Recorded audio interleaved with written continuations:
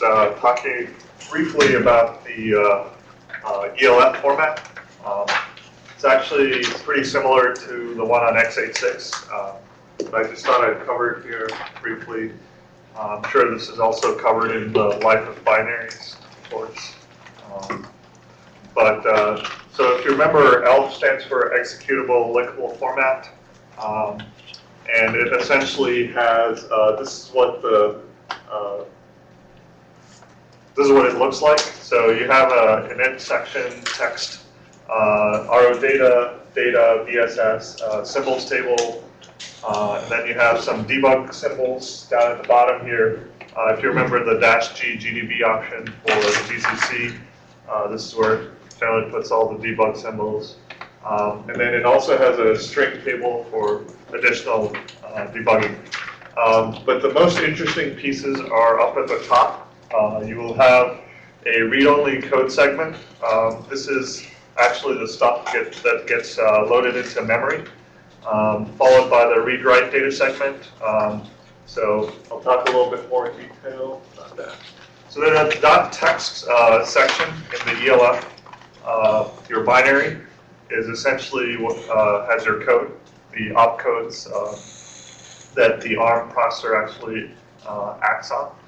The RO data is your read-only data section, so things like constants, uh, uh, things like that are put in this section. So if you remember our Hello World program, the .ro data section in your uh, object dump, uh, you, you would see the Hello World string uh, located in this uh, section. The dot data has your global static variables. Um, the dot .bss has your uninitialized variables. If you just say int a don't initialize it, uh, sort of sticks that variable in here. The heap actually in memory starts after the .bss section. So if you remember, uh, I said that this uh, segment actually gets uh, put into memory. Um, and once that gets put into memory, your heap starts right after your BSS, and it actually grows towards increasing memory. The stack actually starts at the opposite direction and starts growing towards the heap. And so the stack and the heap sort of meet in the middle, if you will. So, um, so the stack grows towards lower memory addresses, the heap grows towards increasing memory. All right? So again, a reiteration of uh, the format. So if you remember, the debug section is actually where all your uh, GDB symbols get put. Uh, the dot line is again for more debugging. It puts in your line number, so when you say breakpoint at line number, it looks up uh, the stuff in this section. Uh, there's another GDB command actually um, called uh, list, um, which actually lists your program code in C uh, when you're debugging. And the other thing that Galen mentioned, and a lot of people had questions on, was how to step over an instruction. So if you have an instruction that branches uh, with like a branch instruction, and you didn't want to actually go into that piece of code, you can actually use an instruction called the next i, uh, which essentially steps over that branch instruction. It doesn't branch, or it actually goes, executes that code, comes back, and then continues with the next instruction. Um, does that make sense? So there's next and next i. Um, so they'll be uh, more useful as opposed to putting a uh, breakpoint at the instruction right after the branch and then doing continue. So that's the way I've been doing it. And your string table has all your uh, symbol information, like variable names, things like that. So it's also used for more debugging. Um, so now we'll start talking about how we can do a control hijack uh, on ARM. So uh, as you know, we can, uh, if, if we're allowed to write to the stack pointer, um, you know that the link register gets usually gets saved onto the stack. So if you're able to write into the stack, uh, you can control the link register at least. And um, when the code returns, uh, the link register gets copied back into PC, and you can sort of control the uh, flow of execution from there. The other thing to remember is if you, uh, we talked about the ARM thumb procedure call standard, Um, and the ATPCS specifies that R0 through R3 are used as arguments to methods. So if we wanted to pop something like a shell on, um, uh, on a server or something, um, then we, we would have to make a system call or an execve call, but we'd also need to pass arguments. Um, so this is sort of, uh, we're going to talk about how we can pop a shell. You know, that's like the ultimate goal. So this is uh, the picture I had shown you a couple of slides ago on what the frame looks like um, in, in your stack. So the call save registers are first pushed on using the STMFD uh, stack pointer with write back, and all the registers that you want to save are put in there. Uh, followed by that, we have the link register, right? Um, the link register is where uh, the calling method's uh, PC is saved. So that also is put on the stack. So the idea would be you would write, or if you're able to write into the stack, you are you're able to overwrite this uh, address here, right? And when the function returns, it copies the link register back into the PC, and uh, you can start, if you control that address, you can essentially have it execute arbitrary code. So this was uh, an attack that was demonstrated, uh, I think, a year back, 2011 actually, uh, by Itzhak Abraham at DEF CON.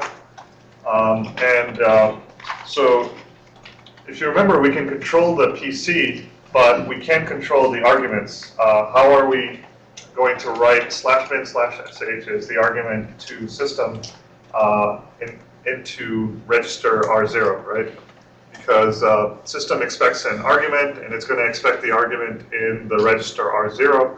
Uh, so the only way to uh, do it, at least uh, his approach, is to use return-oriented programming.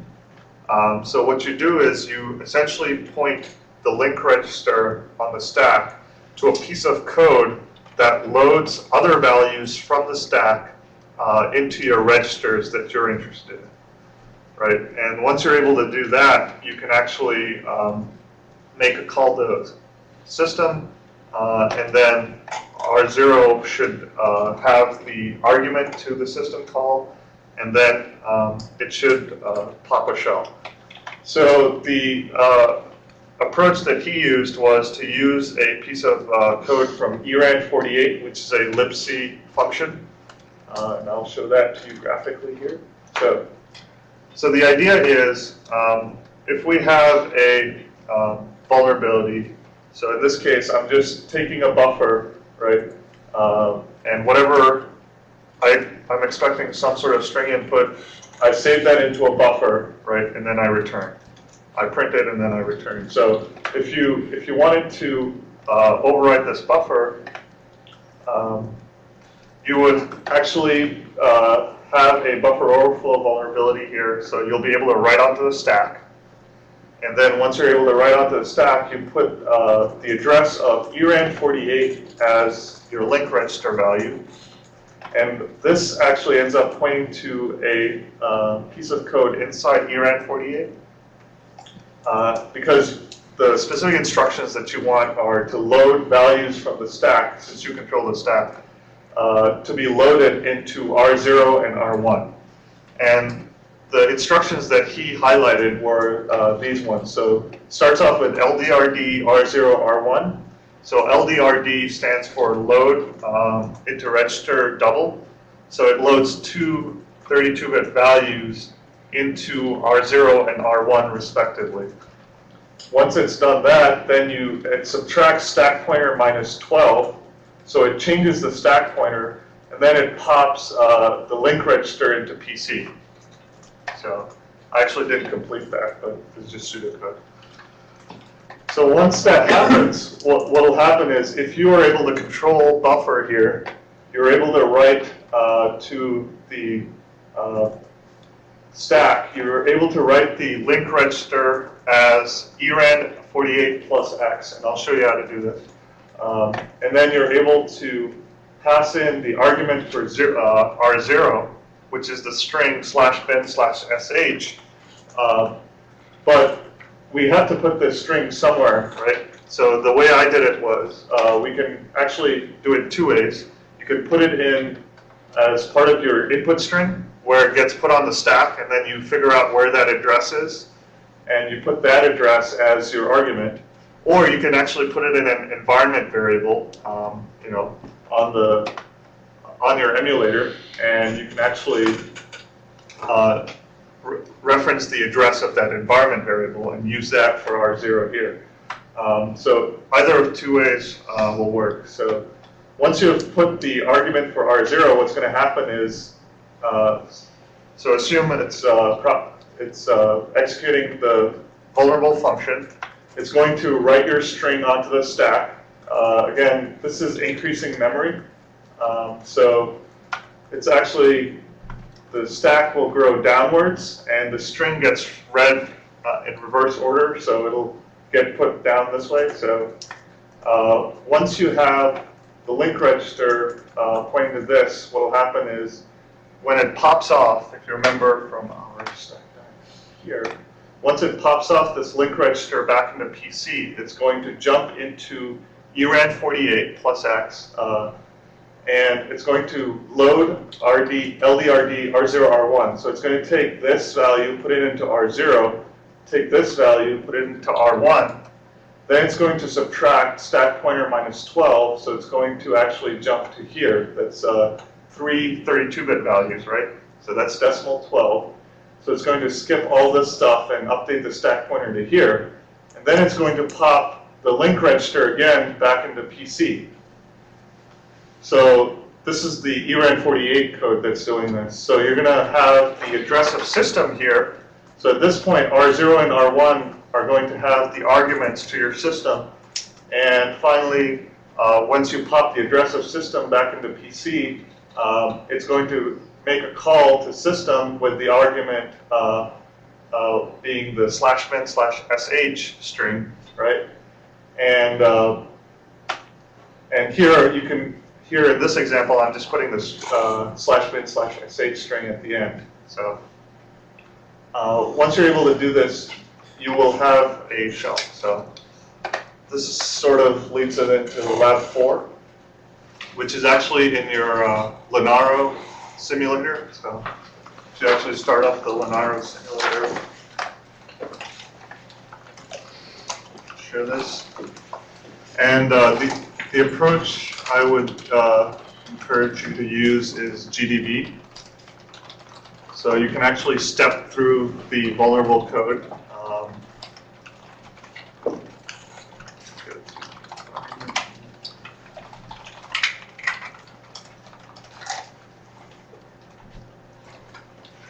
so if you go into CD projects,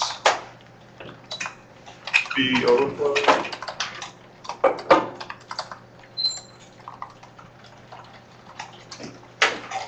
So you'll actually have um, the overflow.c. So,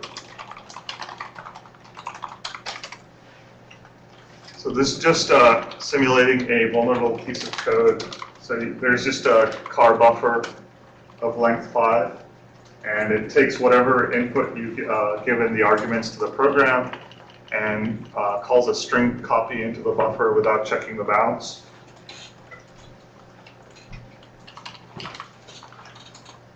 So, um, so this way, you can actually, so if you say outside flow.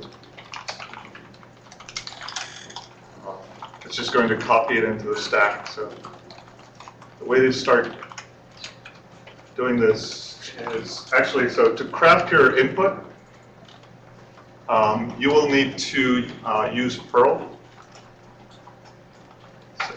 go over that.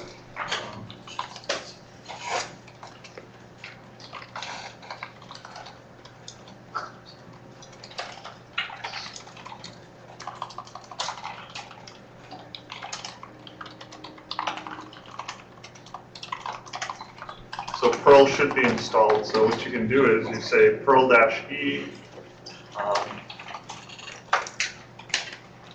and you can do something like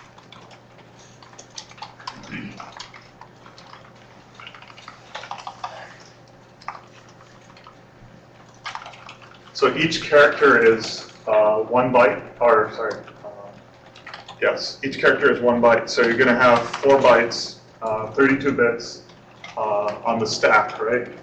So you can have something like ABCD, if I say times three, let's go, actually I'll put that into a file.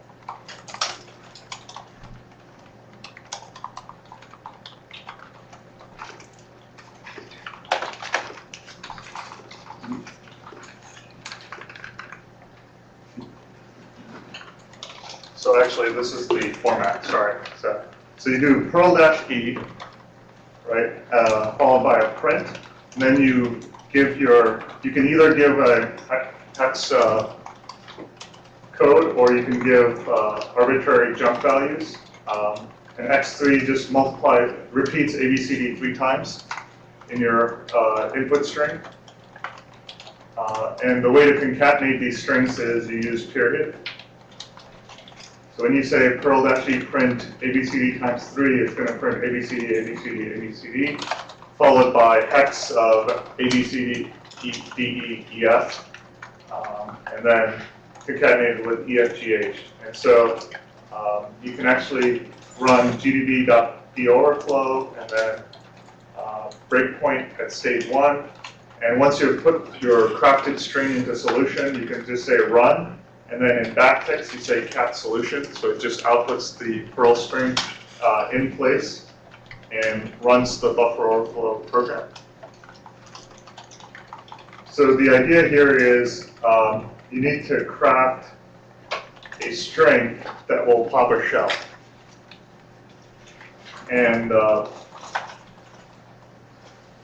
in order to get the value, so if, if you want to look at what's in ERAN 48, uh, what I suggest you do is, let me show this to you. So this slide is actually very useful for that. So.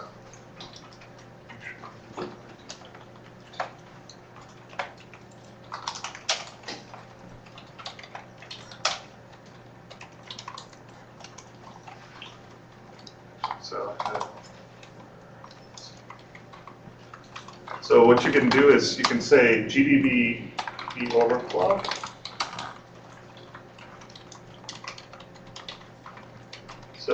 That's in GDB, um, you can actually breakpoint in main for now.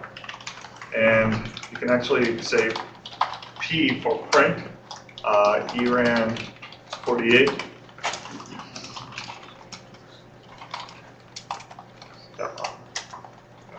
Sorry, I gotta run this, so we'll run it with it. So you actually need to run the uh, the binary in order for the libc to actually get loaded, I guess. So. so now I've put a breakpoint in main. I've run it with some junk string, right? So once I'm there, I can actually print ERAN 48. So this actually gives you the address of uh, where ERAN 48 is located in memory. And since it's a shared library, it's always around. Um, you can actually disassemble ERAN 48 to look at what instructions are there. So this is what ERAN 48 looks like. Uh, and if you remember, the uh, instructions of interest start off at this address, which is 76F28E56. Uh, it has the LDRD R0R1, uh, and it's loading from the stack into these two registers. It's adding stack pointer plus 12, and then it's popping from the stack into PC. So,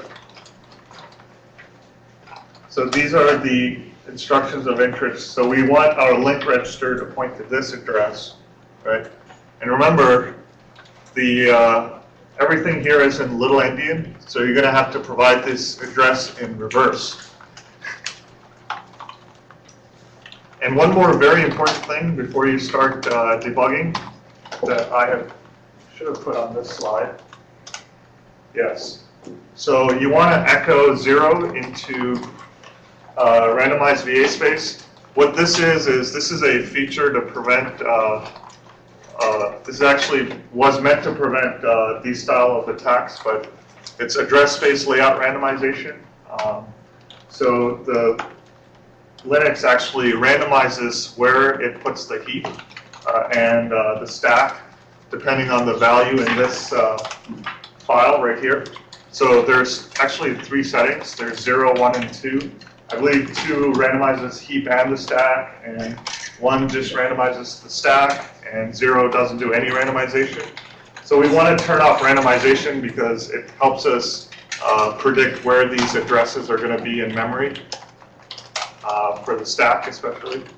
Uh, and since our string is also going on the stack, uh, in my example anyway, uh, it'll make it easier to pinpoint where that string is.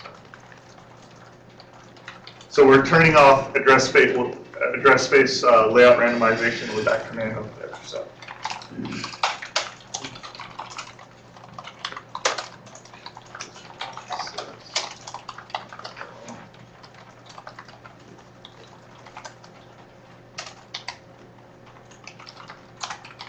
And if you want to make sure that zero is being stored in there, can just uh, that value. So it should be zero.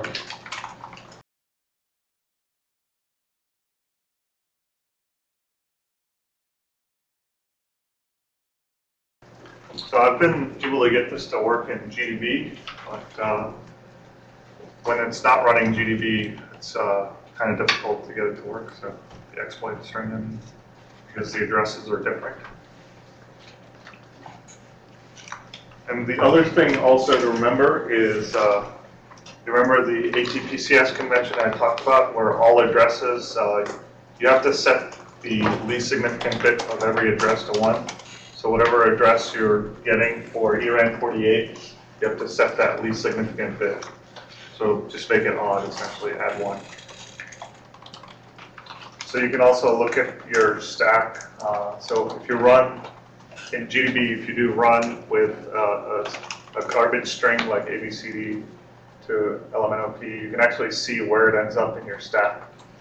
Uh, if you just do examine slash 5s stack pointer or stack pointer minus 12, uh, you'll see exactly where your string ends up.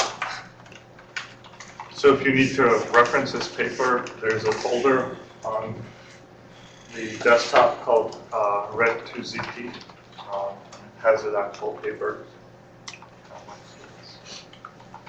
for reference.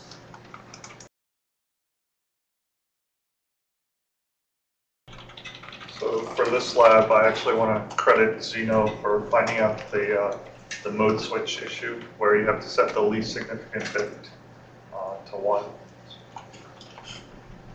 Actually, so like, we can break for lunch now.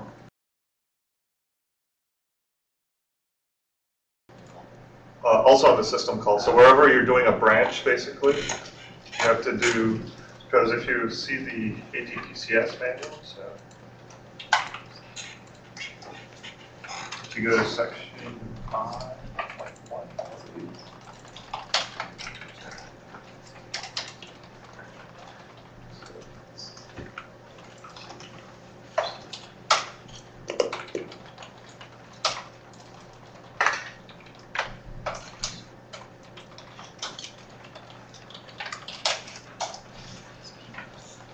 we use the branch exchange. Uh, simultaneously change instruction set to that specified by the least significant bit of the destination address. But the interesting thing I also found out is uh, my make file for the B overflow uses the dash M ARM option. Um, so even though I'm saying compile it in ARM, uh, it doesn't work. So that's why you're all always seeing thumb code for all my examples is, you know, if I try the dash M ARM option on the emulator, for some reason uh, GCC is not producing ARM code. It's still producing thumb. The way you can see this is if you actually do object thumb dash D, the overflow, OS, it'll actually see some of it, um, you'll see the intermixing between 16-bit and 32-bit codes. So actually, the main is all 32-bit instead of state one. It's just that uh, the shared libraries like libc is going to be mixed. So you're going to have like uh, the libc is going to be mostly in thumb, but your main and state one actually I change this to m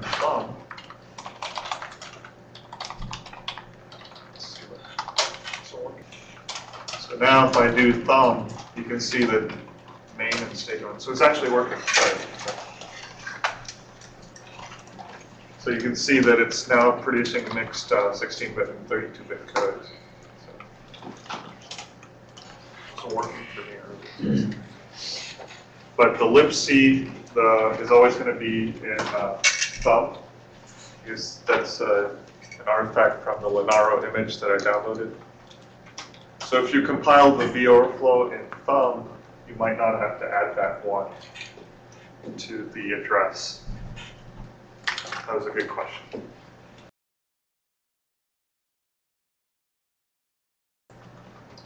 Yeah, so even if I put it in thumb mode, I still have to add that one.